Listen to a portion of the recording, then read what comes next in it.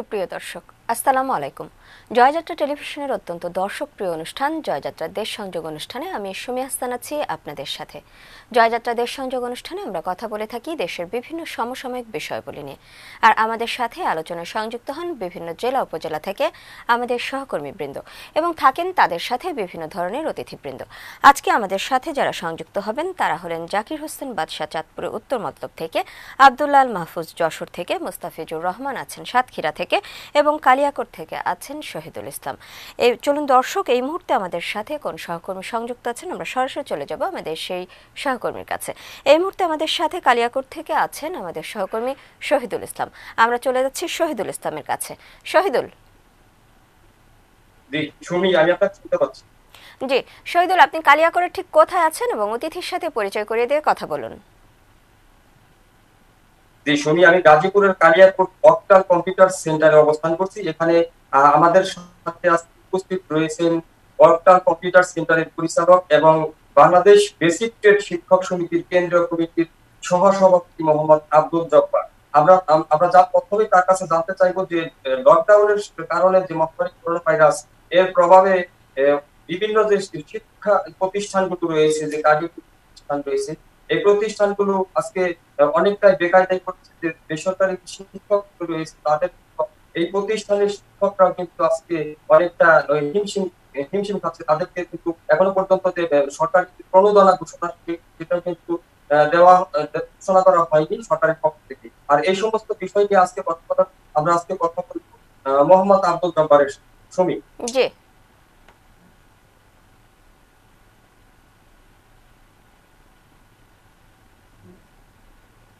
আসসালামু। আলাইকুম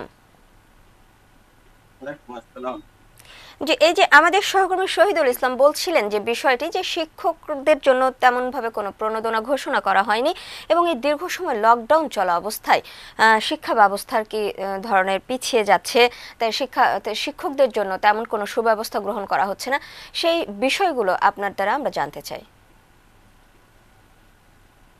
ধন্যবাদ স্বামী আসলে আমরা অল্প ভাষায় আমরা পারি। কারণে কি ধরনের করছে এটা এখন কিছু নেই। কিন্তু আমরা বেসিক গ্রেড কারিগরি শিক্ষা বোর্ডে আমরা যে প্রতিষ্ঠান পরিচালিত হয়। সাধারণত সহ উদ্যোগে পরিচালিত হয়। অর্থায়নে পরিচালিত এখানে বাংলাদেশ কারিগরি শিক্ষা বোর্ডে সাধারণত মেবি আপনার পঁয়ত্রিশশো প্লাস এরকম কম্পিউটার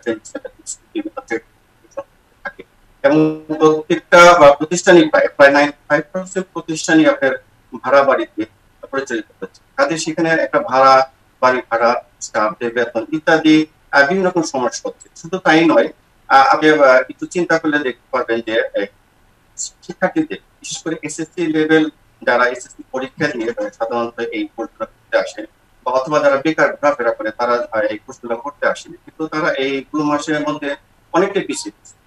আর আমরাও তাদের সাথে পরিপূর্ণ ভাবে সংযোগ ঘটাতে পারছি না।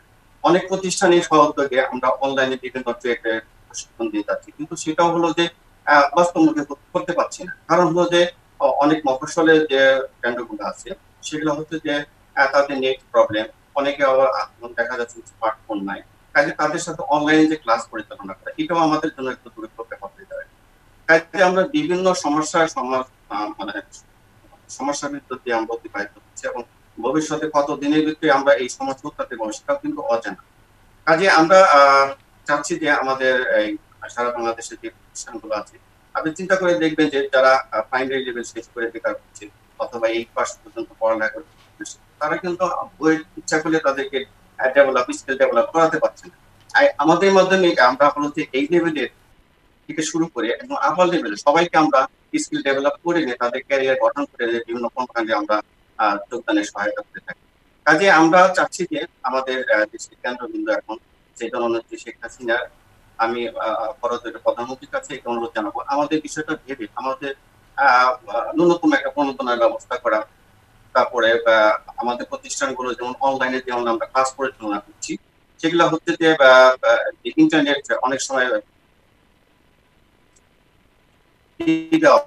বিভিন্ন প্রতিষ্ঠানকে। আমরা চাচ্ছি যে ইন্টারনেটগুলো কি আমাদের শিক্ষা প্রতিষ্ঠানগুলো কাজে আমরা খুব রুরাল লেভেল থেকে আমরা এই কাজগুলো করে থাকি এবং সহ উদ্যোগী করে থাকি, নিজস্ব অর্থায়ন করে থাকি। কাজে আমাদের কেউ হেল্প করার মতো একমাত্র এখন যদি প্রধানমন্ত্রী শেখ হাসিনা আমাদের মুখ তুলে থাকান তবে এটা উঠানো সম্ভব। ইতিমধ্যেই আপনি যে আমাদের মাধ্যমে আপনি হয়তো জানবেন। কিছু কিছু প্রতিষ্ঠান ইতিমধ্যে আমাদের কাছে ফোন দিয়ে জানিয়েছে, তাদের এই প্রতিষ্ঠান চালানোর মতো সক্ষমতা ধরে রাখতে পারছেন। কাজে আমরা চাচ্ছি যে বৃহৎ স্বার্থে যেমন দেশনেত্রী শেখ হাসিনা যে ডিজিটাল বাংলাদেশ করার লক্ষ্যে, সোনার বাংলা করার লক্ষ্যে যে স্লোগান দিয়ে যাচ্ছেন, আমরা কিন্তু সেই সোনার বাংলা গড়ার লক্ষ্যে ডিজিটাল বাংলাদেশ করার লক্ষ্যে, আমরা কিন্তু নির্দিষ্ট একটা শ্রেণি বা নির্দিষ্ট পেশার লোকদেরকে ডেভেলপ করেই এই দেশকে সোনার বাংলা গড়ার ক্ষেত্রে অবদান রেখে যাচ্ছি।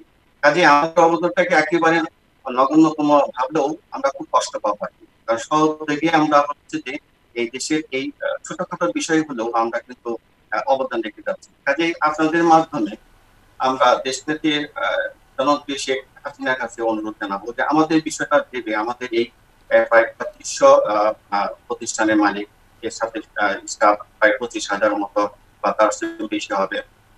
এদেরকে একটু প্রণোদনা চোখে দেখে বা প্রণোদনা অথবা সহস্র দিনের ব্যবস্থা করে দিল হয়তো বা কিছু প্রতিষ্ঠান বেঁচে যাবে আর কি। আর আমরা হলো যে আগামীতে আরও তো বাংলাদেশ ডিজিটাল করার ক্ষেত্রে পিছিয়ে পড়া জনগোষ্ঠীকে তাদেরকে আমরা ভূমিকা রাখতে পারব আশা রাখতে জি এই যে আপনি বললেন যে বিভিন্ন জায়গার শাখাগুলো বন্ধ হওয়ার উপক্রম হয়ে গেছে এবং অনলাইনে গ্রাম পর্যায়ে যে শাখাগুলো রয়েছে সেগুলোতে আপনারা তেমনভাবে সুব্যবস্থা দিতে পাচ্ছেন না ইন্টারনেট সুব্যবস্থা নেই। সেই ক্ষেত্রে সেই সকল ছাত্রছাত্রীদের এখন কি অবস্থা এবং তাদের সাথে আপনারা যোগাযোগ রেখেছেন কিনা? তাদেরকে আপনারা কোনোভাবে মানসিক দিক থেকে তাদেরকে সহায়তা দিচ্ছেন কিনা?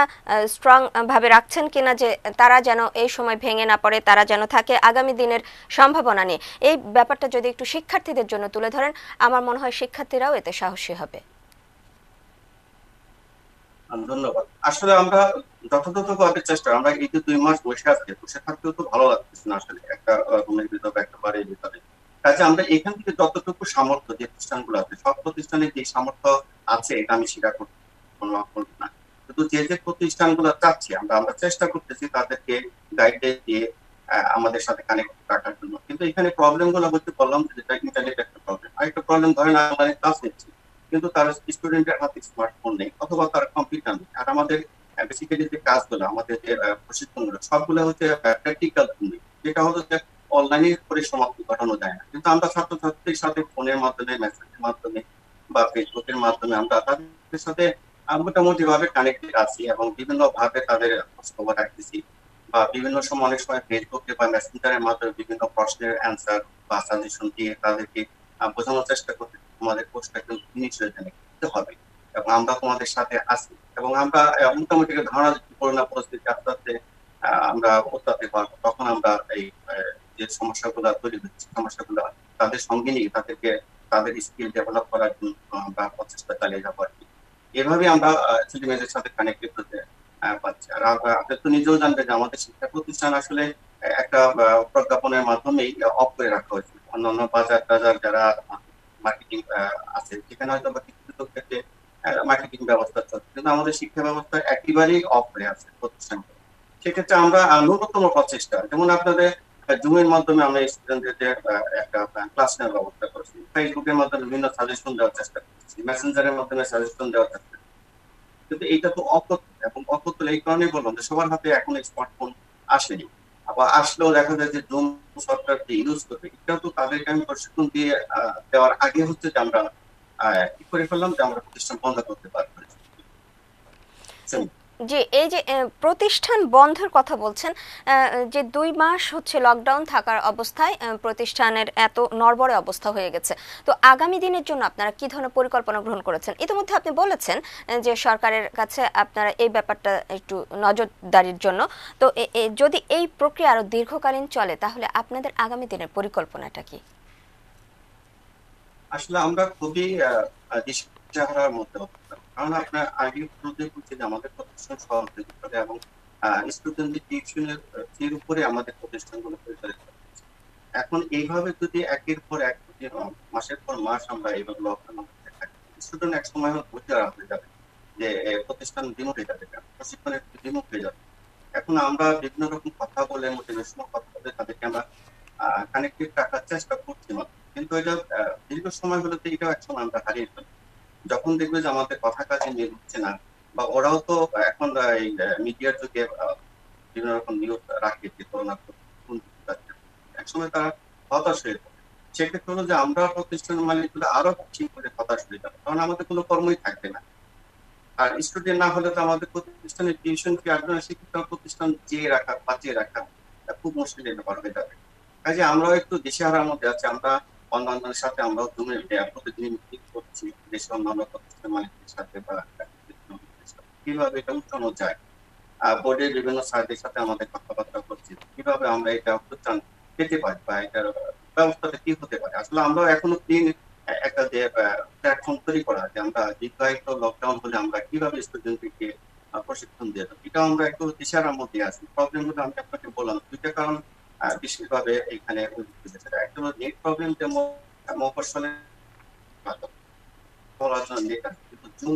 হওয়ার জন্য যথেষ্ট নয়। আর প্রত্যেকের হাতে স্মার্টফোন বা কম্পিউটার নাই। তাহলে আমি আমার অনলাইন প্রশিক্ষণটা কীভাবে তাদের কাছে?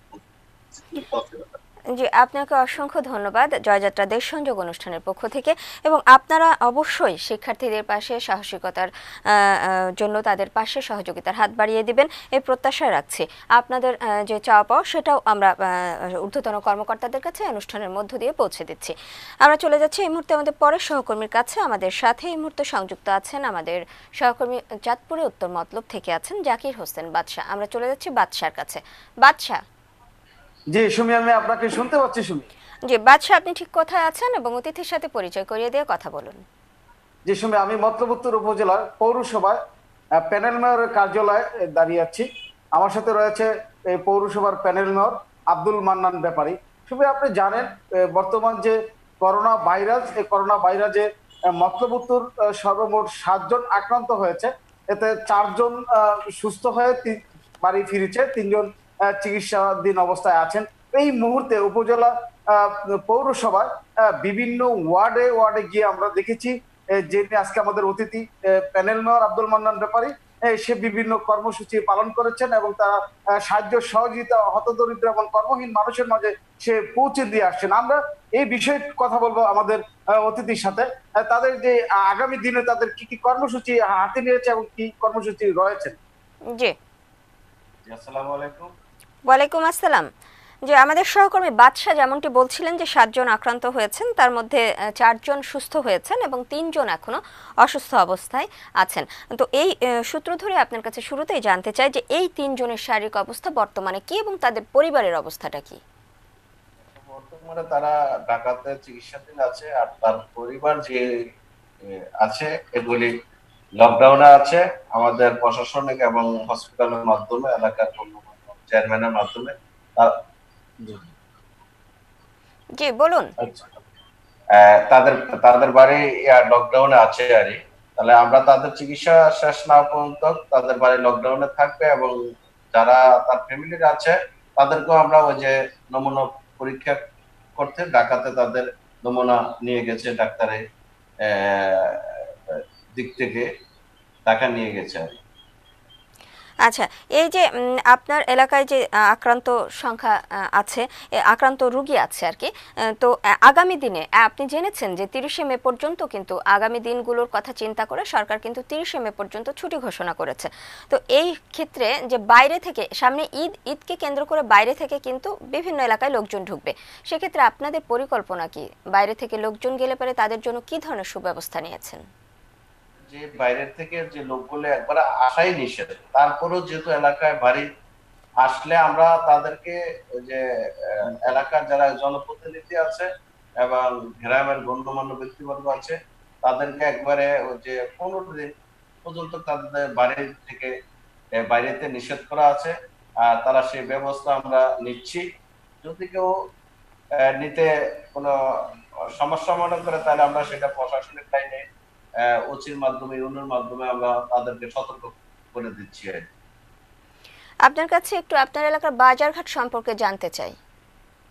বাজারঘাট আমাদের আমার এলাকাটা হলো চাঁদপুর স্যাঙ্গারচর পৌরসভা। আমার স্যাঙ্গারচরে অত্যন্ত বড় একটি বাজার।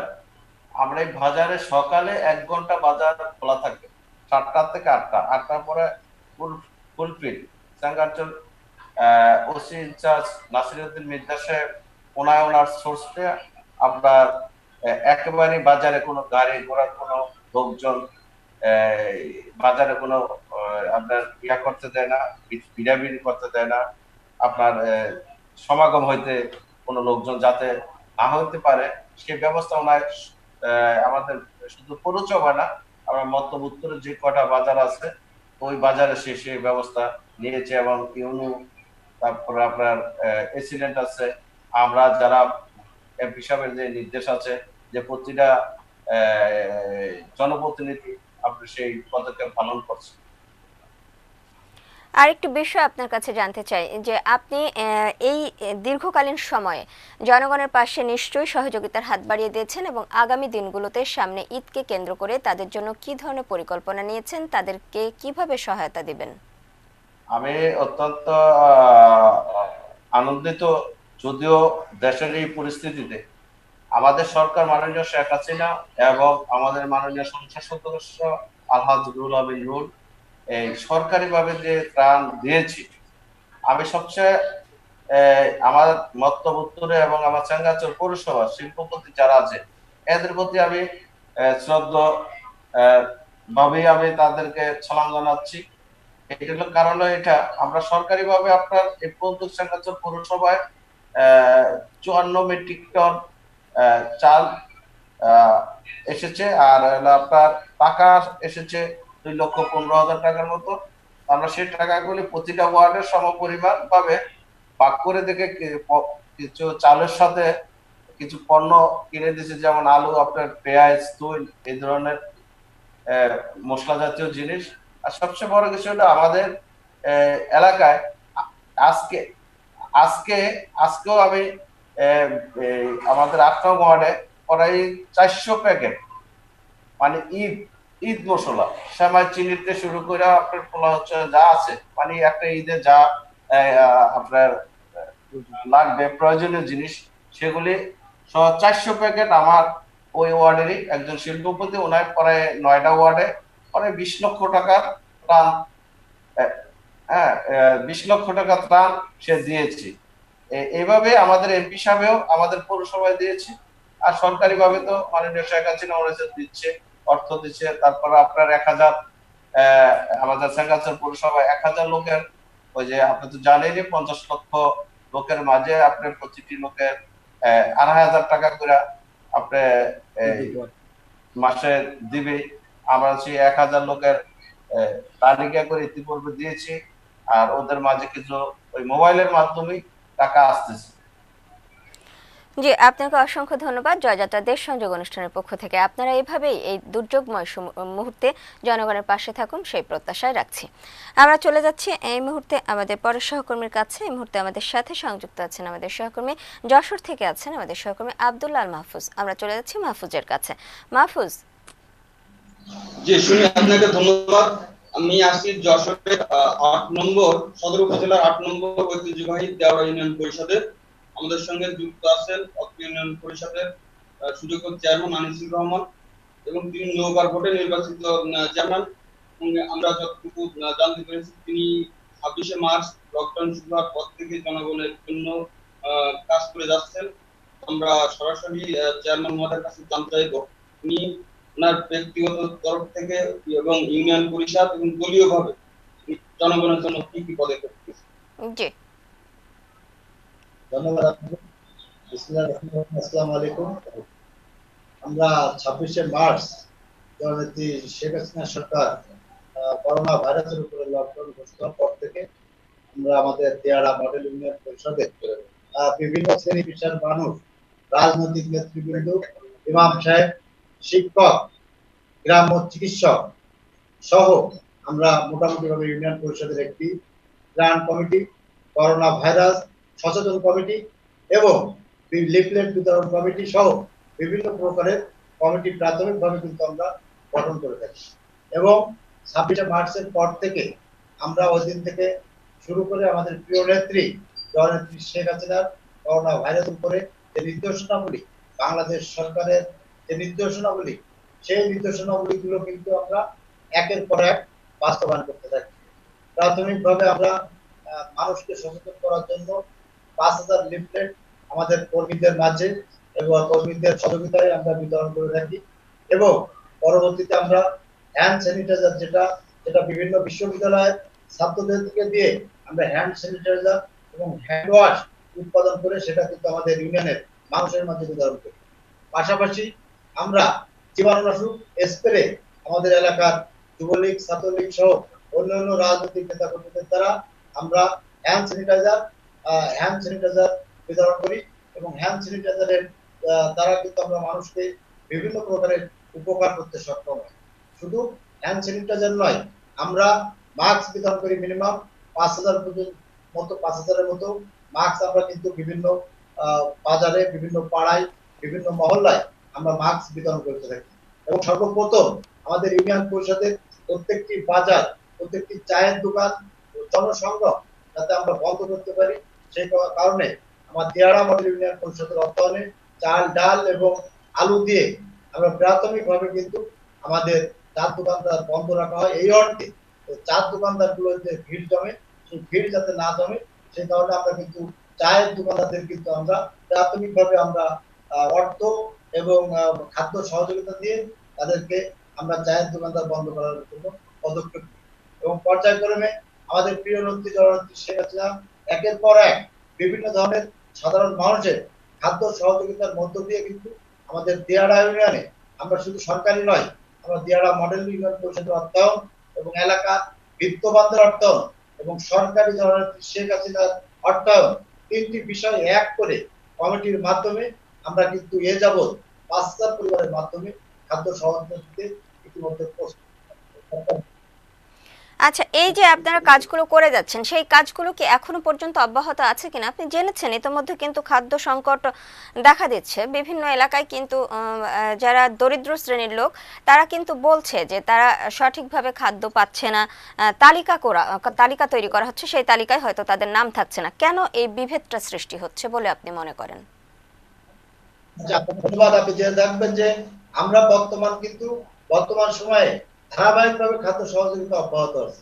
গতকাল আমার দেড়া ইউনিয়নের ঐতিহ্যবাহী পাহাড়ের প্রায় দেড়শো মৎস্যজীবীকে আমি খাদ্য সহায়তা এবং নগদ অর্থ প্রদান করেছি। আপনি যথার্থ বলেছেন যে কিছু কিছু তালিকা মিস্টেক হচ্ছে, এর কিন্তু একটি কারণ আছে।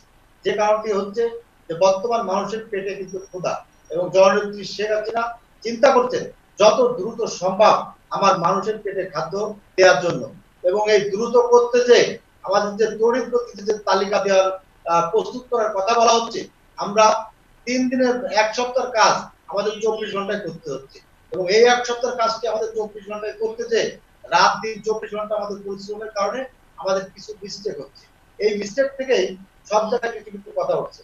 তো আমি আপনাদেরকে আশ্বস্ত করতে চাই, আমাদের দিয়ারা মডেল ইউনিয়ন ইতিমধ্যে আমাদের প্রিয় নেত্রী যে আটশো দশ পরিবারের পঁচিশশো টাকা ঈদ উপহার দিয়েছেন। এই পঁচিশশো টাকা- ঈদ উপহারের কোনো মোবাইল নাম্বারও ইনশাল্লাহ মিস্টেক হয় নাই, কোনো নামও মিস্টেক হয় নাই। আমরা শতভাগ না পারলেও আমি আশাবাদী নিরানব্বই পার্সেন্ট নির্গুণ হতদরিদ্র, কর্মহীন, জেলে, কৃষক, ভ্যান চালক, রিক্সা চালক, সকলের সমন্বয়ে আমরা এই কমিটির মাধ্যমে একটি নির্গুণ হতদরিদ্র তালিকা প্রস্তুত করতে সক্ষম হয়েছে ইনশাল্লাহ। এক্ষেত্রে আপনাদের এই তালিকায় একটি বিষয় জানতে চাই যে আপনাদের এই যে জেলে দরিদ্র ভ্যান চালক রিক্সা চালক এগুলোর বাইরে আপনাদের তালিকায় কি মধ্যবিত্ত শ্রেণির লোকরা আছেন কিনা? অবশ্যই মধ্যশ্রেণীর যে ব্যক্তিটা আছে সে ব্যক্তিটা যাতে দোকানদার। যারা দোকানদার শ্রেণি এখন যাদের দোকান বন্ধ আছে দীর্ঘদিন ধরে তারা কর্ম করে হয় কিন্তু এখন দুই মাস বন্ধ তারা আর্থিক সংকট আছে। সেই ধরনের কিন্তু মধ্য শ্রেণির লোককে আমরা কিন্তু এই তালিকায় অন্তর্ভুক্ত করতে পেরেছি। জি আপনাকে ধন্যবাদ। জি জি বলুন। এবং এবং আমরা আপনি যেটা বললেন যে খাদ্য অব্যাহত যে বিষয়টা ইতিমধ্যে আজকে আমাদের ইউনিয়ন পরিষদের সকল শ্রেণি পেশার মানুষকে একটা নিয়ে একটা মিটিং করছি। এটা ঈদ উপলক্ষে আমরা ছাব্বিশশো পরিবারকে সীমায় চিনি দুধ এগুলো কিন্তু আমরা দিতে সক্ষম হব। এবং পাশাপাশি শুধু আমরা রাজনৈতিক ব্যক্তিবর্গ নয়, আমাদের সাথে সামাজিক ব্যক্তিবর্গ, অন্য বিরোধী দলের নেতৃবৃন্দ আমাদের সাথে আছেন, শিক্ষক আছেন, ইমাম সাহেব আছেন, আপনার বিভিন্ন শ্রেণি পেশার ডাক্তার আছেন, বিভিন্ন শ্রেণি পেশার মানুষ কিন্তু আমাদের এই খাদ্য সহযোগিতায় জড়িত আছে। এবং আমি আরও বলতে চাই যে আমাদের যে প্রিয় নেতা যশোর আওয়ামী লীগের বারবার নির্বাচিত সাধারণ সম্পাদক, আমাদের প্রিয় নেত্রী জননেত্রী শেখ হাসিনা কর্তৃক যশোর ছয় আসনের মনোনীত থেকে মনোনীত পদপ্রার্থী জননেতা শাহিন চাকরাদার আমাদের পাশে থাকেন খোঁজ খবর নেন এবং তিনি শুধু সদর উপজেলা নয়, আটটি উপজেলায় কিন্তু খাদ্য সহযোগিতা করে যাচ্ছেন এবং হসপিটালে বিভিন্ন প্রকার নতুন নতুন আধুনিক মেশিনারিজ তিনি নগদ অর্থ দিয়েছেন মেশিনারিজ কিনে দিয়েছেন এবং সার্বক্ষণিক ভাবে আমাদের অভিভাবক হিসেবে আমাদের প্রিয় নেতা, জননেতা শাহিন চাকরাদার, জননেত্রী শেখ হাসিনার যে ভীষণ, এই ভীষণ বাস্তবায়নের জন্য ভ্যানগার্ড হিসেবে কাজ করছেন। পাশাপাশি আমাদের যারা জনপ্রতিনিধি আছে যারা যুবলীগ, যারা কর্মীরা আছে, যারা ছাত্রলীগের কর্মীরা আছে, যারা আওয়ামী লীগের অভিভাবক আছে, তাদেরকে সাথে নিয়ে কিন্তু আমাদের প্রিয় নেতা এই করোনা ভাইরাস মোকাবেলায় আমাদের প্রিয় নেত্রী ভীষণ বাস্তবায়ন করার জন্য দিন রাত চব্বিশ ঘণ্টা উনি কিন্তু পরিশ্রম করছেন। আমরা আমরা, আমাদের এই দুর্যোগ কাটিয়ে ওঠার জন্য আপনাদের মতো জনপ্রতিনিধিদের আমরা সব সময় পাশে চাই। ভালো থাকবেন। আপনাকে অসংখ্য ধন্যবাদ। জয়যাত্রা দেশ সংযোগ অনুষ্ঠানের পক্ষ থেকে। আমরা চলে যাচ্ছি আমাদের পরের সহকর্মীর কাছে। এই মুহূর্তে আমাদের সাথে সংযুক্ত আছেন আমাদের সহকর্মী রংপুর থেকে আব্দুর রহমান রাস্তেল। আমরা চলে যাচ্ছি রাস্তেলের কাছে। রাস্তেল। রাস্তেল, আপনি আমাকে শুনতে পাচ্ছেন? সুপ্রিয় দর্শক, আমরা চেষ্টা করছি সংযুক্ত হতে। আমাদের সাথে আছেন আসলে আব্দুর রহমান রাসেল। আমরা সংযুক্ত হতে চেষ্টা করছি রাসেলের কাছে। রাসেলের সাথে সংযুক্ত হতে পারলেই আমরা জেনে নেব রংপুরে তিনি কোথায় আছেন এবং সেখানকার সার্বিক পরিস্থিতি সম্পর্কে। রাসেল! রাসেল, আপনি শুনতে পাচ্ছেন? রাসেল, আপনি শুনতে পাচ্ছেন? আমরা আগে এর আগে কথা বলছিলাম, আমাদের সহকর্মী আব্দুল্লাহ মাহফুজ ছিলেন যশোর থেকে, তার সাথে ছিলেন সম্মানিত চেয়ারম্যান অতিথি হিসেবে ছিলেন তিনি আমাদের সাথে বিভিন্ন বিষয়গুলো সম্পর্কে কথা বলছিলেন। রাস্তাল আপনি শুনতে পাচ্ছেন? রাস্তাল আপনি শুনছেন? জি রাস্তাল আপনি রংপুরে ঠিক কোথায় আছেন এবং অতিথির সাথে পরিচয় করিয়ে দিয়ে কথা বলুন।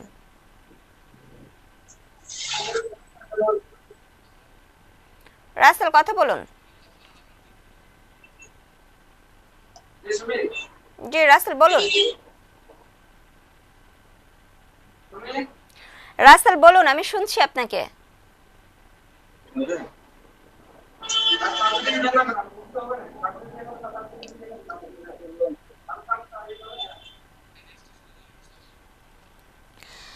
সুপ্রিয় দর্শক আমরা রাস্তালের সাথে আবার পরবর্তীতে সংযুক্ত হব। আমরা এই মুহূর্তে চলে যাচ্ছি আমাদের সহকর্মী মোস্তাফিজুর রহমানের কাছে। সাতক্ষীরা থেকে আছেন আমাদের সহকর্মী মোস্তাফিজুর রহমান। আমরা চলে যাচ্ছি তার কাছে। মোস্তাফিজ। হ্যাঁ শুনে আমি আপনাকে শুনতে পাচ্ছি। জি আপনি সাতক্ষীরা ঠিক কোথায় আছেন এবং অতিথির সাথে পরিচয় করিয়ে দিয়ে কথা বলুন। ধন্যবাদ আপনাকে। অতিথি সহ আমাকে যাযাত্রা টেলিভিশনের দর্শক করে নিয়মিত আয়োজন দেশ সংযোগে সংযুক্ত করে নেওয়ার জন্য। আমি এখন অবস্থান করছি সাতক্ষীরা জেলার হাসনিতে। এখনও পর্যন্ত আমাদের সাতক্ষীরা করোনা পরিস্থিতির আপডেট নমুনা সংগ্রহ পাঁচশো ছিয়াশি, রিপোর্ট প্রাপ্তি তিনশো সাতান্ন আক্রান্ত পাঁচ এর মধ্যে একজন সুস্থ হয়েছে। শুনে আজকে আমাদের অতিথি আছেন হাসনি মহিলা কলেজের প্রভাষক এবং উপজেলার সিরুল্লা সাত নম্বর সিরুল্লা ইউনিয়নের সম্ভাব্য ইউপি চেয়ারম্যান পদপ্রার্থী প্রভাষক দীপঙ্কর মাসার দ্বীপ আমরা ওনার কাছ থেকে আজকে ইউনিয়নের করোনা পরিস্থিতি এবং দীর্ঘ লকডাউনে বন্ধ থাকা প্রতিষ্ঠানের পিছিয়ে পড়া শিক্ষার্থীদের শিক্ষামান উন্নয়নের ভবিষ্যৎ পরিকল্পনা নিয়ে কথা বলব। প্লিজ কথা বলুন শুনুন। জি। আসসালামু আলাইকুম। আসসালামু আলাইকুম। ওয়ালাইকুম আসসালাম। যে এই যে আমাদের সহকর্মী মোস্তাফিজুর রহমানের কাছে যেমনটি জানছিলাম যে আপনাদের এলাকায় করোনা আক্রান্ত রোগী আছেন সেই ক্ষেত্রে তাদের বর্তমান কি অবস্থা? ধন্যবাদ জয়যাত্রা টিভি, দেশ সংযোগকে, সকল কলাকৌশলীকে।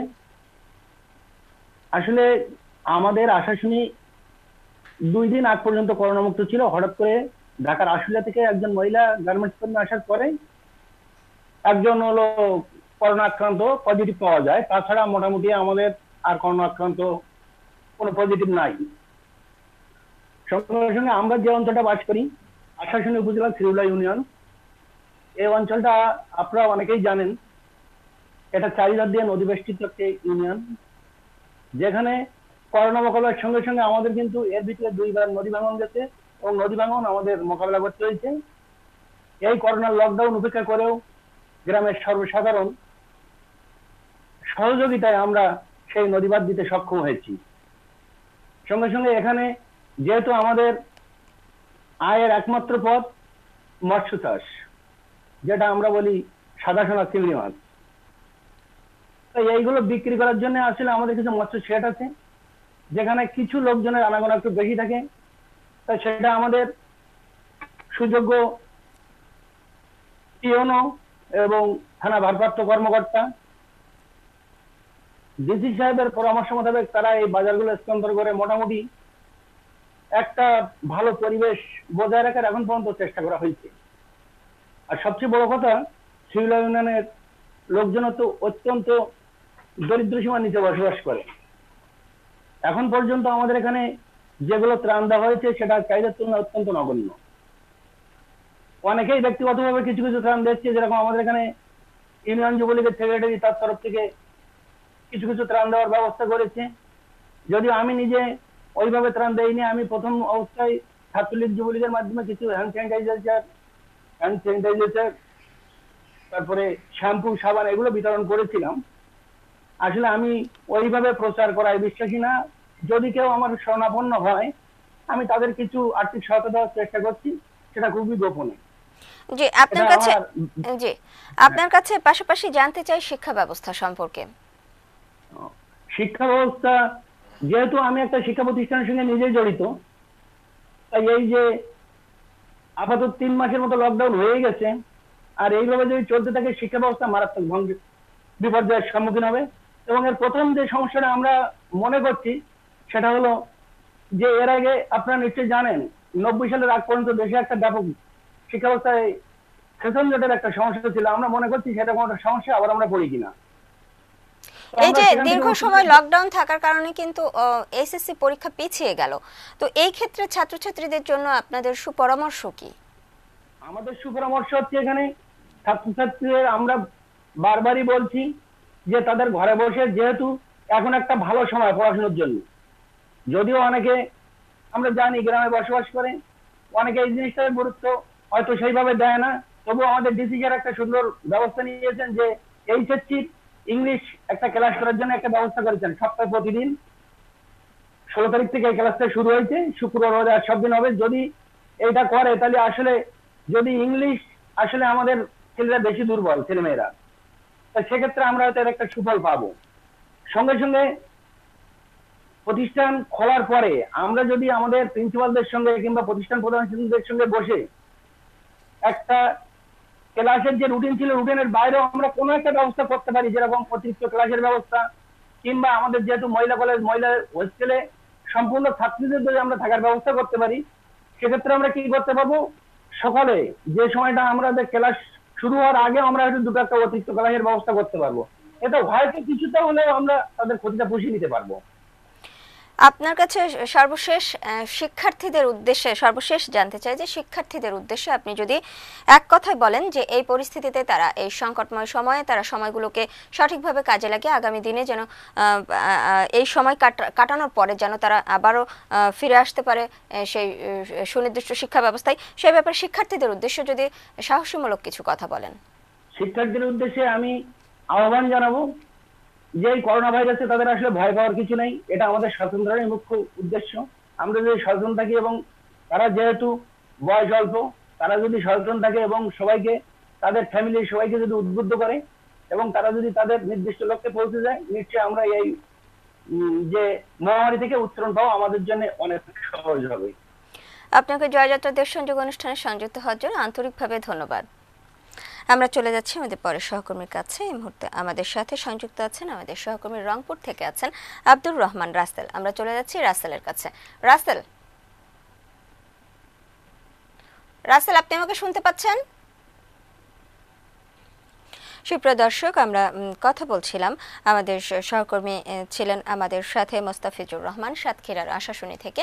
তিনি ছিলেন তার সাথে একজন অতিথি ছিলেন, প্রভাষক। তিনি আমাদেরকে বর্তমান শিক্ষা ব্যবস্থা সম্পর্কে জানাচ্ছিলেন এবং শিক্ষার্থীরা এই সময় কীভাবে তারা সময়গুলোকে কাজে লাগাচ্ছেন এবং তারা যে শিক্ষার্থীদের উন্নয়নের জন্য, শিক্ষার্থীদের শুভকামনার জন্য তারা ওখানে ইংলিশ ক্লাস চালু করেছেন, যেটা তিনি জানিয়েছেন যে আমাদের এলাকার শিক্ষার্থীরা ইংলিশে বেশি দুর্বল। এই জন্য তারা ইংলিশ শিক্ষা ইংলিশ বিষয়টিকে নিয়ে তারা একটি কার্যক্রম হাতে নিয়েছেন এবং সেখানে ক্লাস করার সুযোগ দিয়েছেন শিক্ষার্থীদের। যে যেন ছাত্রছাত্রীদের কোনো ইংলিশ বিষয়টা নিয়ে তারা যেন পিছিয়ে না পড়েন সেই বিষয়গুলো সম্পর্কে তিনি কথা বলছিলেন।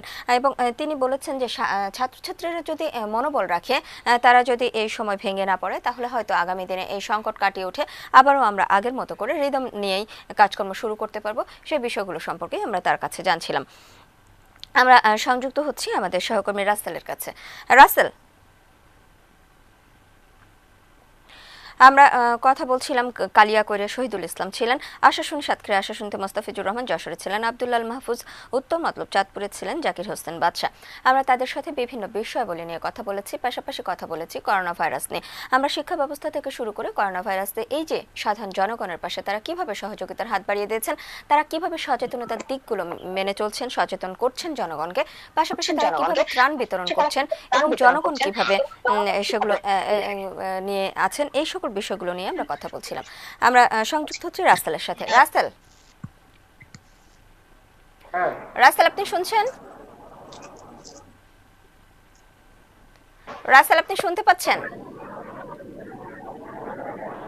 জি। রাস্তাল আপনি হ্যাঁ, শুনতে রাস্তাল আপনি শুনতে পাচ্ছেন?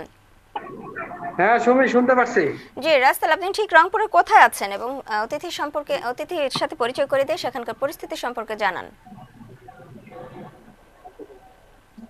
জি সুমি। জি রাস্তাল বলুন।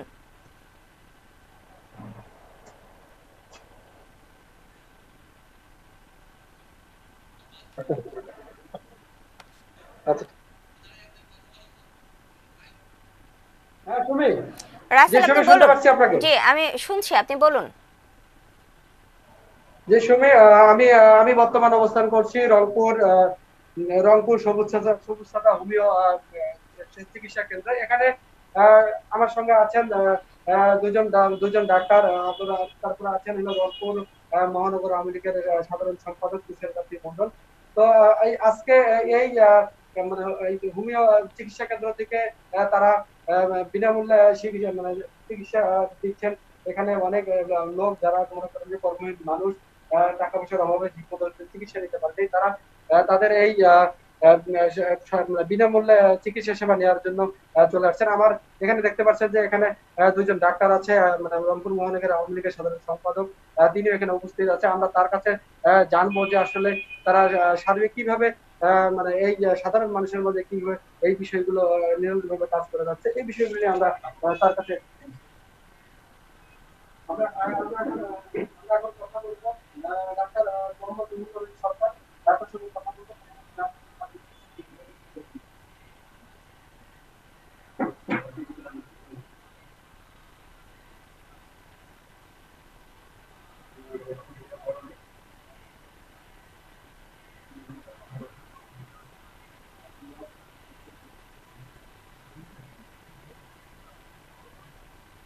G Rasel. জি। অতিথির কাছে অতিথির কথা আমরা শুনতে পাচ্ছি না। আপনি অতিথির কাছে আমরা জানতে চাই যে এই যে হোমিও ব্যবস্থা যে এই যে হোমিও ব্যবস্থা এই ক্ষেত্রে তারা কীভাবে আসলে সুচিকিৎসা দিচ্ছেন মানুষকে?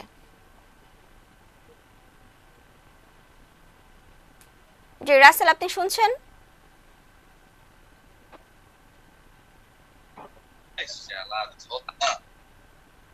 রাসেল, আপনি শুনতে পাচ্ছেন?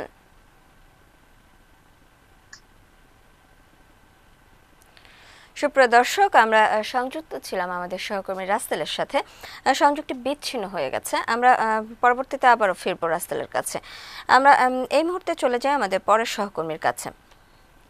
তার আগে জানাতে চাই যে রাসেল যেখানে ছিলেন রংপুরে, সেখানে আসলে হোমিও ডাক্তার ছিলেন এবং তিনি তারা আমাদেরকে হোমিও যে চিকিৎসা ব্যবস্থা আছে এবং এই মুহূর্তে আসলে হোমিওপ্যাথি ডাক্তাররা কীভাবে সুচিকিৎসা দিচ্ছেন এবং জনগণের পাশে কীভাবে সহায়তার হাত বাড়িয়ে দিয়েছেন, সে বিষয়গুলো নিয়ে আসলে তিনি জানাতে চাচ্ছিলেন।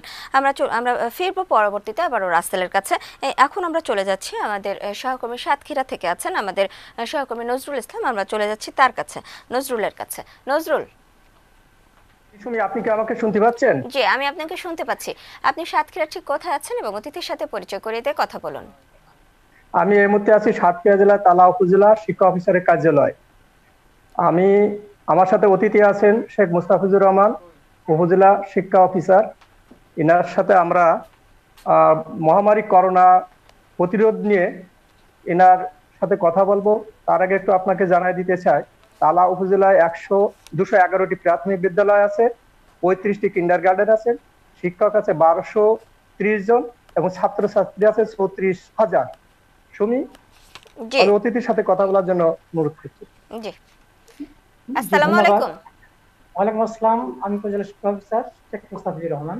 জি। জি আমার তালা উপজেলাতে আমাদের দুইশো এগারো সরকারি প্রাথমিক বিদ্যালয় প্রায় চল্লিশ হাজার শ্রেণি পড়াশোনা করে।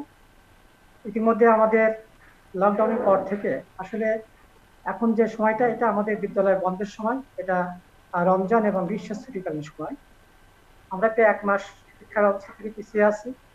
আমাদের শিক্ষার্থীরা এক মাস তাদের শিক্ষকদের সাহায্য থেকে বঞ্চিত আছে।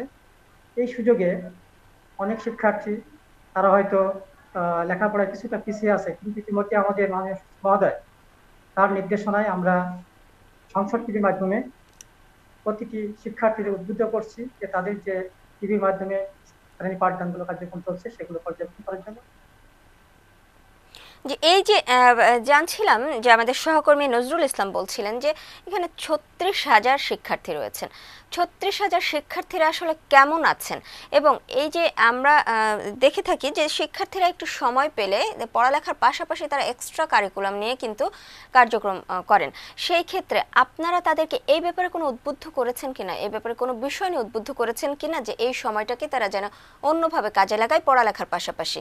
সেই ব্যাপারে একটু জানতে চাই।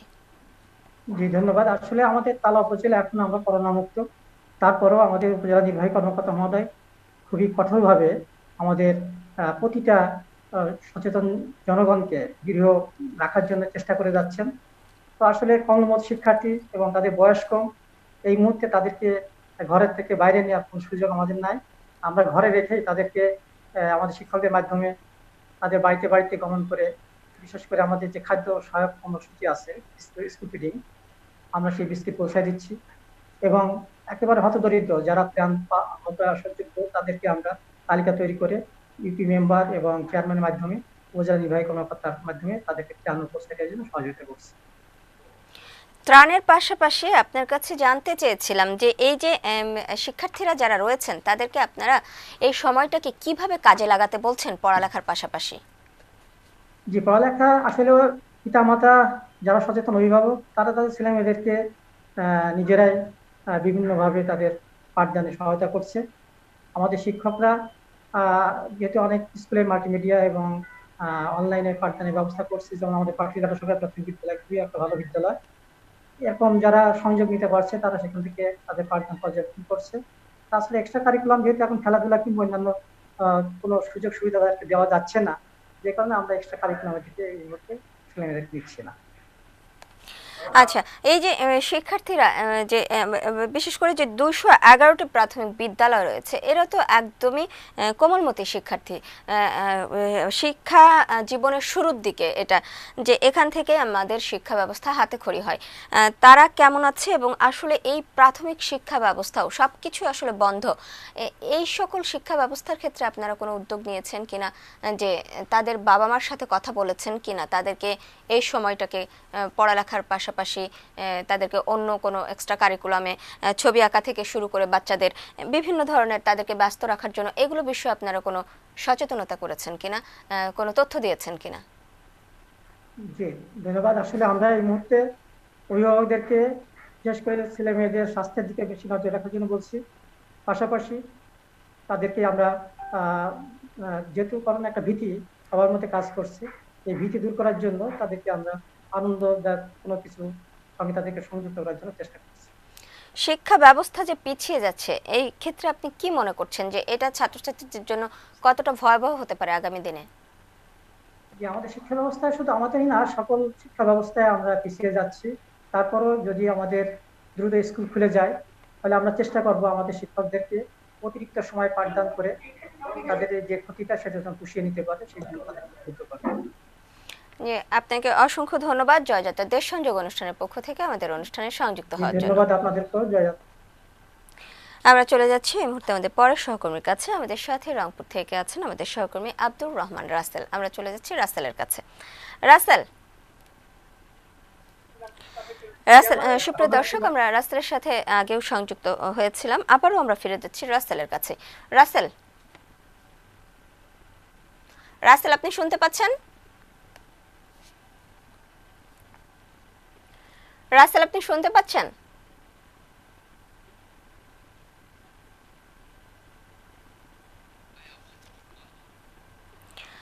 সুপ্রিয় দর্শক আমরা কথা বলছিলাম। রাস্তেলের সাথে সংযুক্ত হওয়ার আগে আমরা কথা বলছিলাম আমাদের সহকর্মী ছিলেন সেখানে এবং তার সাথে একজন অতিথি ছিলেন সেখানে তিনি নজরুল ইসলাম সাতক্ষীরা থেকে ছিলেন এবং সেখানে বিষয়গুলো জানছিলাম যে সেখানে আসলে অনেকগুলো প্রাথমিক বিদ্যালয় রয়েছে এবং অনেক শিক্ষার্থীরা রয়েছে।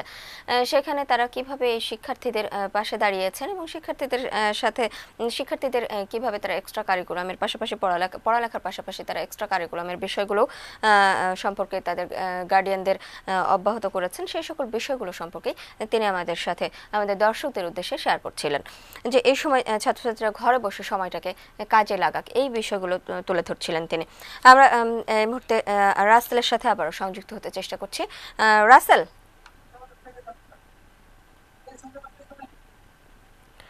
রাসেল?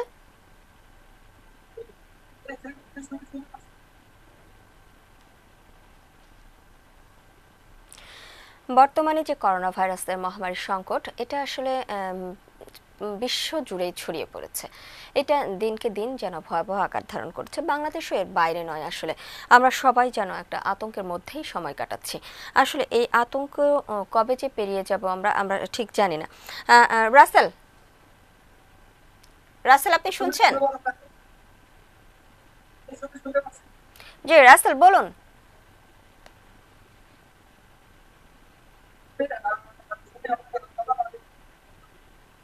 সব সব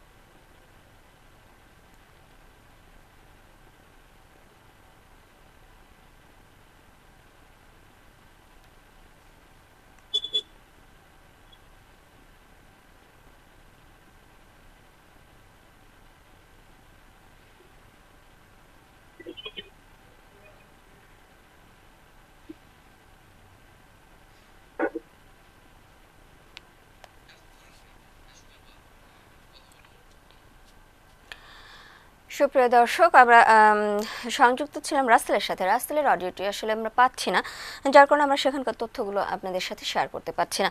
আমরা আসলে এই করোনা ভাইরাসের সময় আসলে আমরা কেউই এই আতঙ্কের বাইরে নয় এবং কেউই আসলে এই করোনা ভাইরাসের অদৃশ্য শত্রুর হাত থেকে আসলে আমরা কবে যে এই হাত থেকে রেহাই পাবো আসলে আমরা কেউ জানি না এখনও।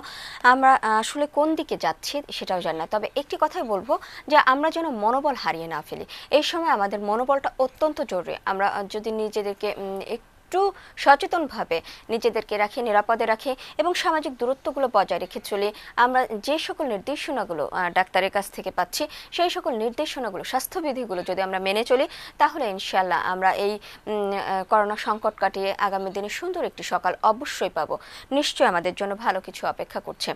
আমরা কখনোই চাইব না যে এই সময়টা আরও দীর্ঘ হোক। আমরা সব সময় চাই আমরা যেন প্রাণবন্ত আগের মতোই সুন্দরভাবে লাইফ কাটাবো, এটা আমাদের সবার কিন্তু প্রত্যাশা। আমাদের বাংলাদেশ আসলে একটি সুন্দর, অত্যন্ত সুন্দর দেশ। সুজলা সুফলা শস্য শ্যামলা আমাদের এই বাংলাদেশে।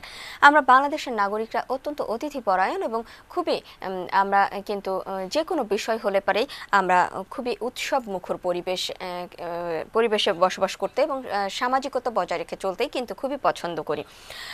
সেখানে আমরা দেখছি যে সামনে আমাদের খুব বড় উৎসব ঈদ উল ফিতর। কিন্তু আমরা ঈদ উল ফিতরে খুবই মজা করে থাকি, খুবই আমরা নিজেদের আত্মীয় স্বজনকে নিয়ে এই আনন্দগুলো ভাগাভাগি করে থাকি। আমরা যে যেখানে কর্মরত থাকি না কেন, আমরা নারীর টানে ফিরে যাই আমাদের গ্রামের সেই শেকড়ের কাছে, আমাদের সেই স্বজনদের কাছে। কিন্তু এবার একটি কথা বলব যে আপনারা যে যেখানে কর্মরত আছেন, সেখানেই থাকুন না। কেন না আপনি যদি সেখানে থাকেন, তাহলে থাকবে আপনার যে নারীর টানে, শেকড়ের টানে যে আপনি গ্রামে ফিরে যাবেন, তারা যেখানে আপনার স্বজনরা রয়েছেন তারাও নিরাপদে থাকবেন। কেননা আপনার নিরাপত্তাই তাদেরকেও নিরাপত্তা দিবে। আপনি যেখানে এবার আছেন আমরা চাইব যে আপনি সেখানেই থাকুন, আপনি নিরাপদ থাকুন, আপনার স্বজনদেরকেও নিরাপদে রাখুন। আমরা কখনোই চাইব না যে এই করোনা ভাইরাস দীর্ঘকালীন হোক। আমরা সব সময় প্রত্যাশা করছি যে খুব দ্রুত আমরা এই সংকট কাটিয়ে উঠে আমরা এর বাইরে আমাদের সুন্দর জীবনে ফিরে যেতে। আমরা সেই প্রত্যাশায় রাখব সব সময় এবং সব সময় সৃষ্টিকর্তা মহান আল্লাহ তাআলার কাছে আমরা প্রার্থনা করব যেন আল্লাহ তালা আমাদেরকে এই মহান দুর্যোগ থেকে আমাদেরকে মুক্তি দেন। সেই প্রত্যাশায় সব সময় করতে থাকব। আমরা আমাদের সহকর্মী রাসেলের সাথে আসলে সংযুক্ত হতে চেষ্টা করছি। রাসেলের সাথে রাসেল আছেন রংপুরে এবং তার সাথে আসলে দুইজন হোমিও ডাক্তার আছেন এবং আছেন একজন একজন রাজনীতিবিদ আছেন। তার সাথে আসলে আমরা সংযুক্ত হতে চেষ্টা করছি এবং তার কাছ থেকে আসলে জানতে চেষ্টা করছি। সেখানে যে সকল অতিথিরা আছেন তাদের কাছ থেকে আসলে আমরা হোমিওপ্যাথি বিষয়গুলো নিয়ে, তারা আসলে কি বলতে চাচ্ছেন সেই বিষয়গুলো সম্পর্কে আসলে জানতে চাচ্ছি এবং আপনাদেরকেও জানাতে চাচ্ছি। রাসেলের অডিওটা আসলে পাচ্ছি না, যার কারণে আমরা আপনাদের সাথে সংযুক্ত হতে পারছি না। এবং আপনাদেরকে তথ্যগুলো আমরা আসলে শেয়ার করতে পারছি না। আমরা আমরা এই জন্য রাসেলের সাথে আসলে সংযুক্ত হতে পারিনি, এই জন্য আন্তরিকভাবে দুঃখিত। আমরা অনুষ্ঠানের একদম শেষ পর্যায়ে চলে এসেছি। তাই সকল সহকর্মীকে এবং যে সকল অতিথিরা ছিলেন, সকলকে জয়যাত্রা দেশ সংযোগ অনুষ্ঠানের পক্ষ থেকে আন্তরিকভাবে ধন্যবাদ জানাচ্ছি। আপনারা যে যেখানে আছেন, ভালো থাকুন, সুস্থ থাকুন, নিরাপদে থাকুন। আল্লাহ হাফেজ।